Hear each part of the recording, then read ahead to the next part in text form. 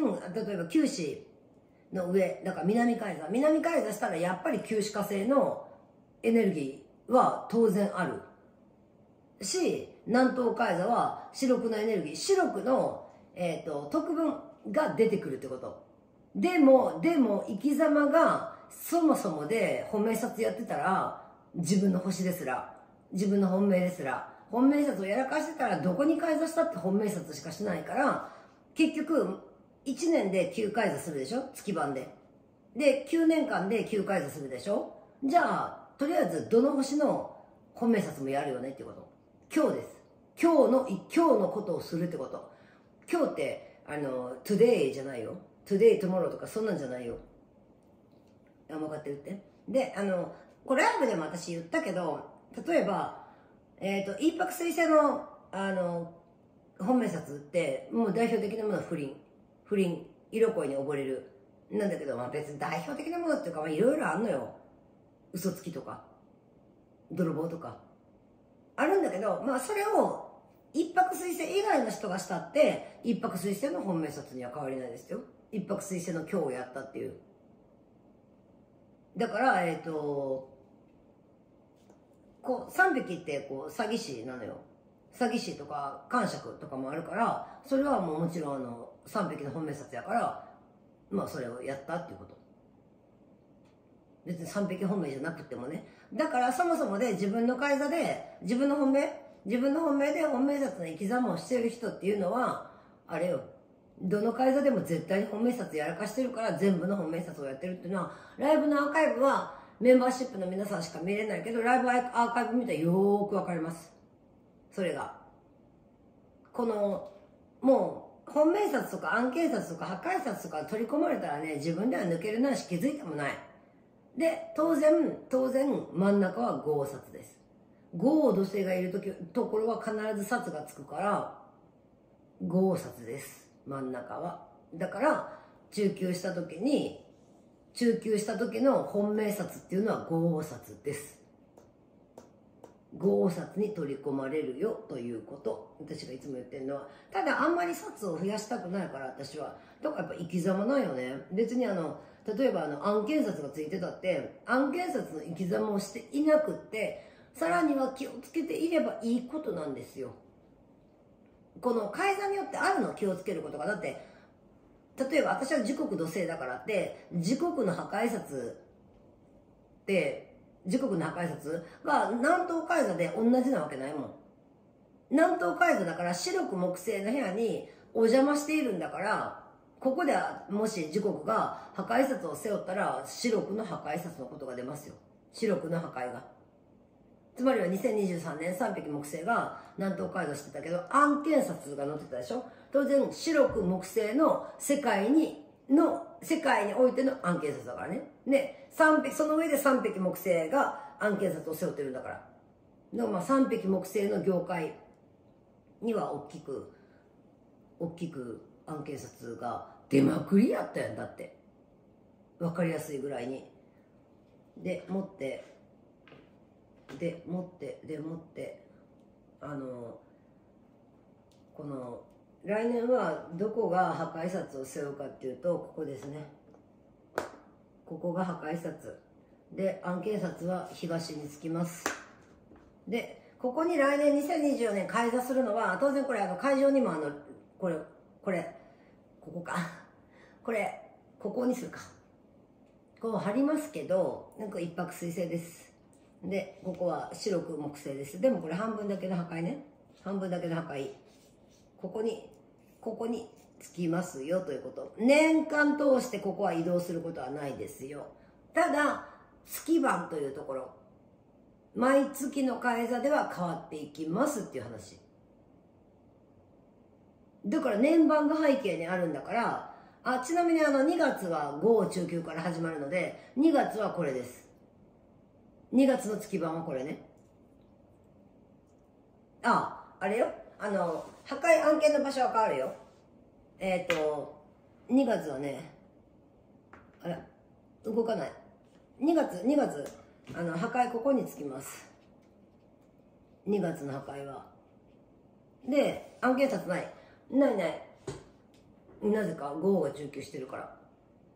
これ私どっかでも喋ったと思うけど豪土星がえっ、と中級してる時は案件札はないの。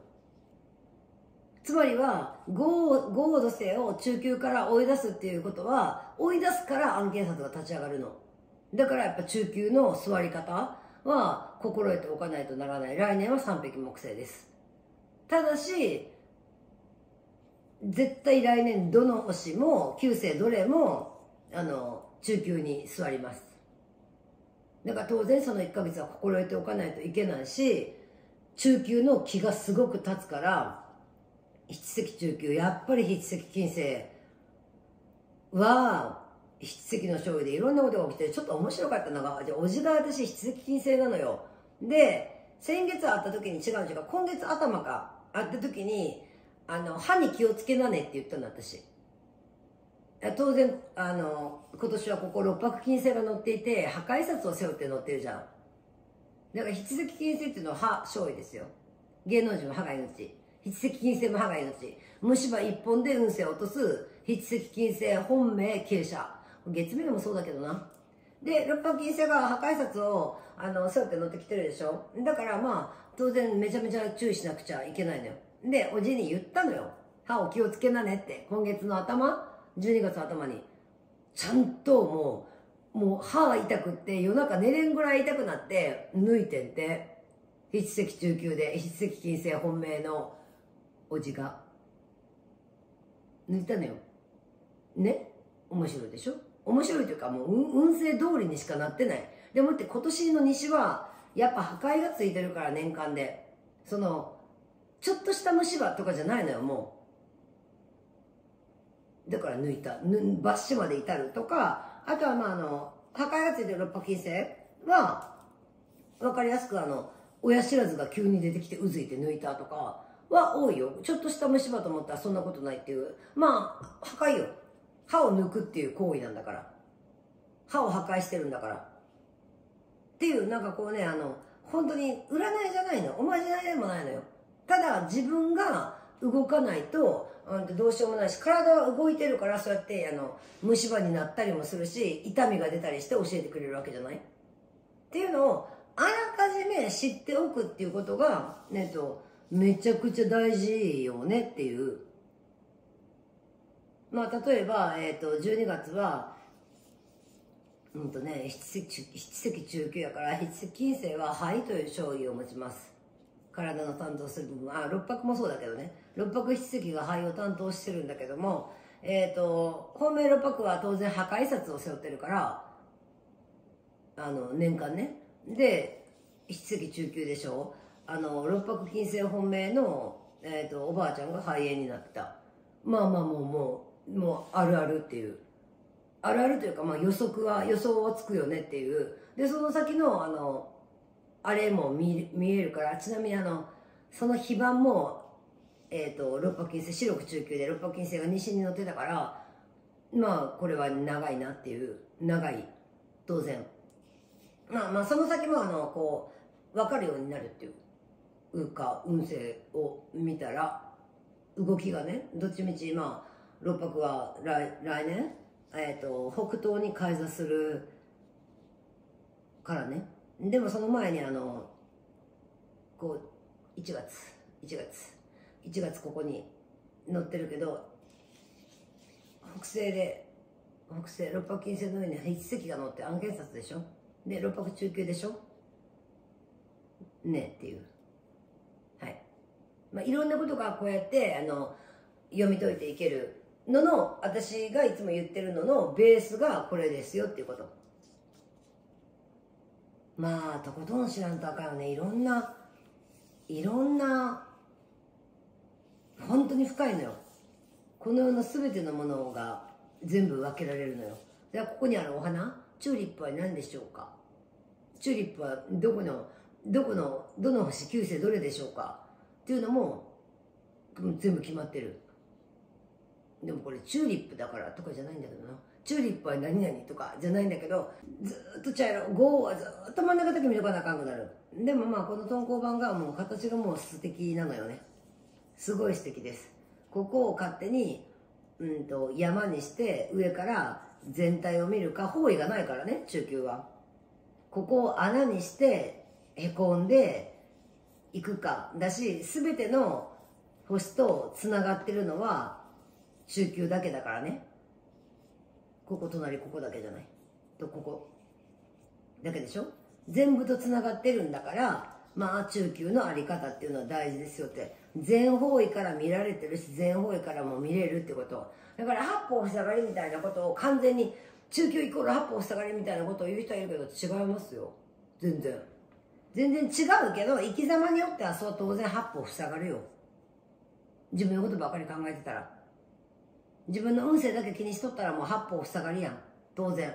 そりゃそうやん。だって中級にいるのよ。み、みんなのこと、みんなと繋がってるのに自分のことばっかり考えてるんだから、それは自分のことばっかり考えてる人には人は寄ってこないからね。で、八方塞がるやん。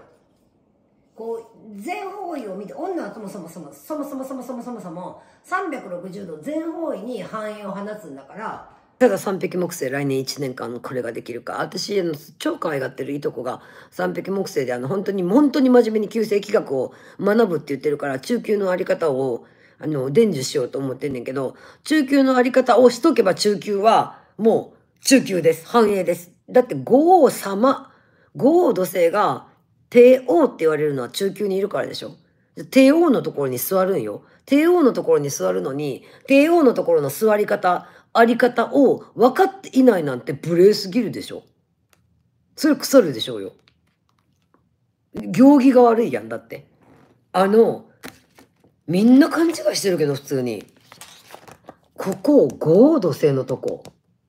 で、五王が、五王が、中級から、六白がこれら、1月は六白が中級に入るから、五が外に出されんねん。